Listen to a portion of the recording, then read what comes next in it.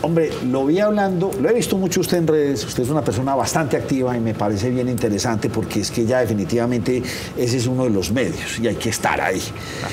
Pero lo vi con un plátano y hablando de plátano y diciendo, hombre, ¿cómo es que esto aquí se lo pagan a este señor en 40, 50 pesos y cuando uno va a la tienda en Medellín o al supermercado lo compra en mil? Ah, es que costó 900 pesos despachar ese pobre platanito desde acá, desde hasta acá. Hombre, ¿será que esto es el capitalismo salvaje y esto es lo que está destruyendo nuestro país? ¿Será que no vamos a llegar a buscar de pronto algo donde, donde realmente todos ganemos? Un montón de preguntas las que tengo. Usted estuvo muy activo en el Urabá antioqueño, ¿por qué?